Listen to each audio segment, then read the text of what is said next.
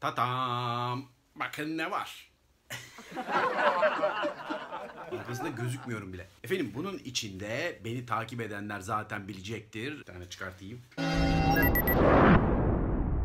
Bu. Ne bu?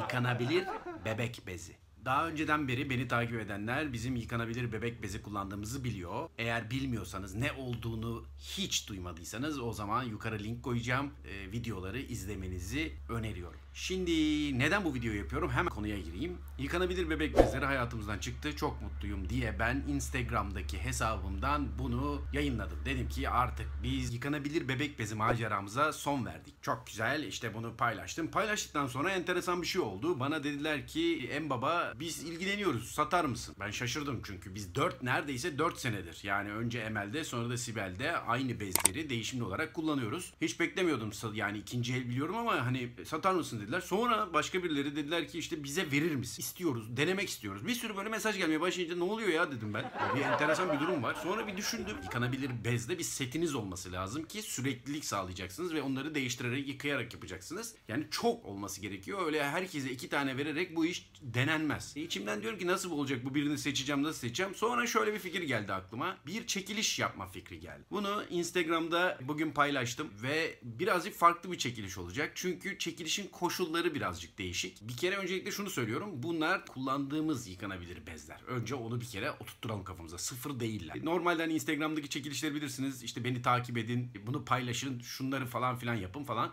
Benimkisi öyle değil. Benimkisi basit. Güzel bir amaç uğruna koşullar da öyle olsun istedim.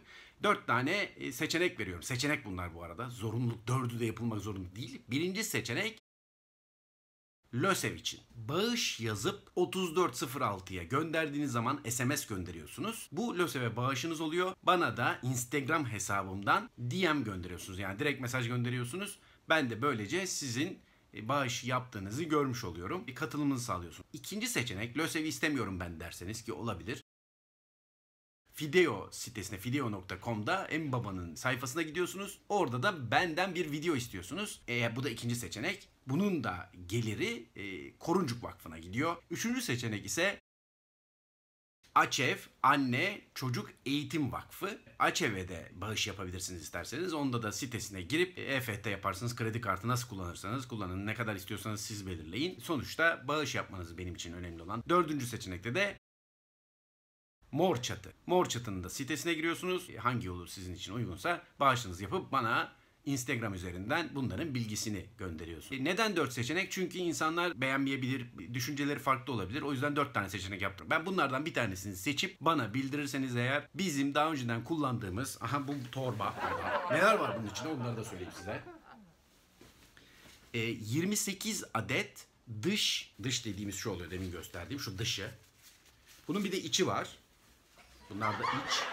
İşte de havluları var. Bu havlulardan 45 adet var. Bunlardan 28 adet var. Ee, bir de bir de şunlar var. Bunlar da liner diye geçiyor. Rahatça alabiliyorsunuz. Hiç bilmiyorsanız YBB ile ilgili olan videolarımda zaten bunların hepsi detaylı olarak ben anlatıyorum. 1 Haziran 2020'de bu çekilişi sonlandırmayı düşünüyorum.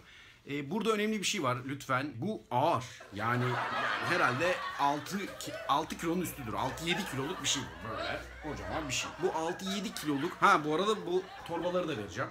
Bundan iki tane var. Bu da önemli. Islak ve kuru torba olarak ayırmıştık biz. O da bayağı değerli bu arada. Yani bunlar böyle bir set gibi düşünün. Bir başlangıç seti gibi düşünün. Çünkü neden bunlar kullanılmış şeyler. Böyle bir başlangıç güzel olur diye düşünüyorum. Ama unutmamanız gereken lütfen bu koşulları aklınızda bulundurun. Birincisi bunlar eski.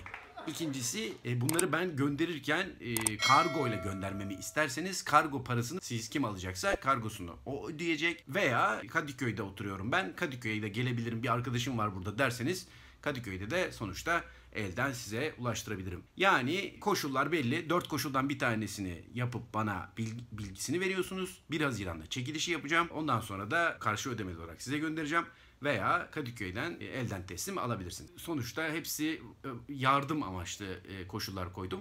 Bir de tabii ki kazanmayabilirsiniz. Katılmak istemeyebilirsiniz. Haklısınız. YBB kullanmıyorsunuzdur veya çocuğunuz yoktur veya işte büyüktür çocuğunuz.